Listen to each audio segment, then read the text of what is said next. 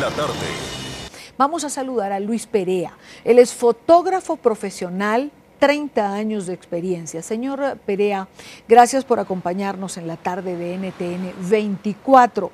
Ah, ¿Qué impresión le dan a usted estas ah, fotografías que hoy ha puesto a circular el gobierno bolivariano? No He leído igual muchísimos a Twitter, unos dicen que son verdad, como decía Alejandro Rincón, otros dicen que no, otros dicen que están retocadas por el Photoshop, lo cual además nos parece absolutamente normal, pero queríamos consultar la opinión de un fotógrafo profesional, como es su caso. Buena tarde.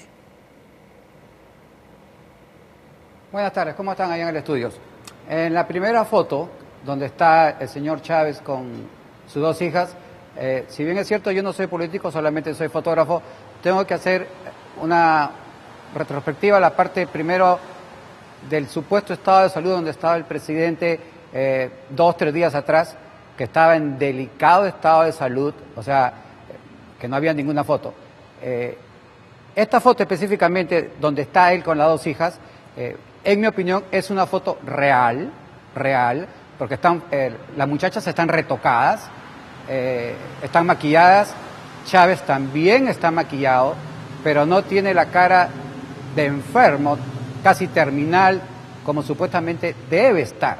Que el propio gobierno venezolano, estoy mezclando la parte técnica con la fotografía porque eh, realmente están amarradas las dos cosas. El gobierno venezolano siempre ha dicho que el presidente está en una situación crítica, que no ha reconocido, que está entubado y una serie de problemas respiratorios. En esta fotografía, si fuese tomada ayer jueves en la noche, como ellos dicen, eh, él no, presenta en la fotografía síntomas de haber estado entubado, porque debería tener la cara hinchada y otro tipo de expresión. Y esa sonrisa media, media falsa que le sale, porque la fotografía solamente es una milésima de segundo de una acción, eh, puede ser real, la fotografía. Estoy hablando de la fotografía donde está con las dos hijas que han posado y han sido eh, tomadas específicamente con un propósito eh, publicitario. En referencia a la otra fotografía, donde está leyendo el periódico Grama, ¿no?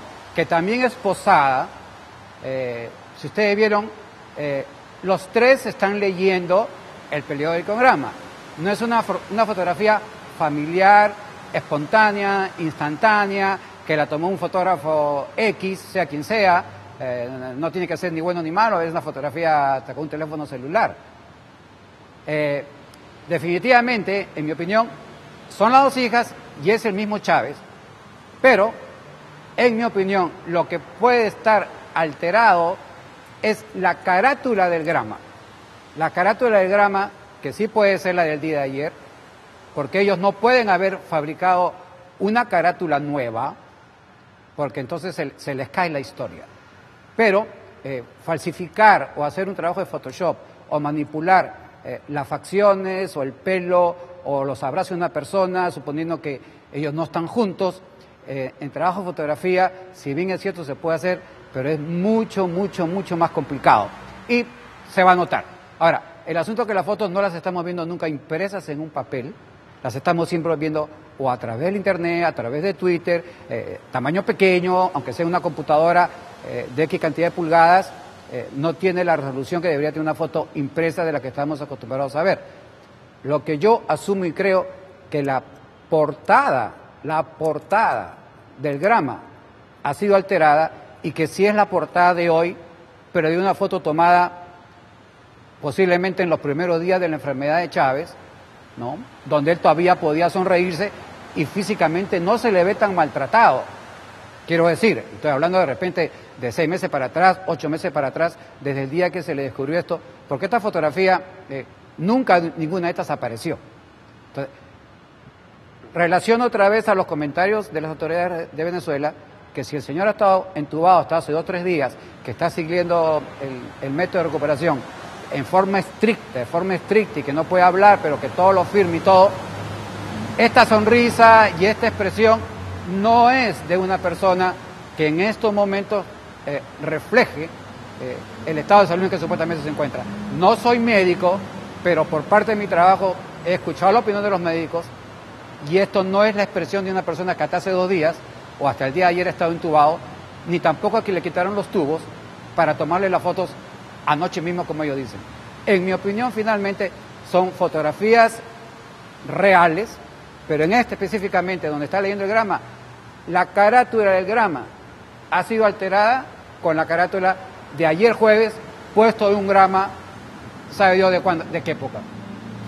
Luis Perea, fotógrafo, 30 años de experiencia. Quiero repetir uh, esto que usted está diciendo porque me parece importante. Las fotografías son reales a su criterio, pero lo que podría estar alterado es precisamente la portada del grama. Es decir, estas fotos son reales, pero pueden haber sido tomadas hace dos meses, hace 30 días, hace 20 días, y esa carátula, que es el grama de ayer, es lo que pudo haber sido insertado. Entiendo que es así lo que usted señala.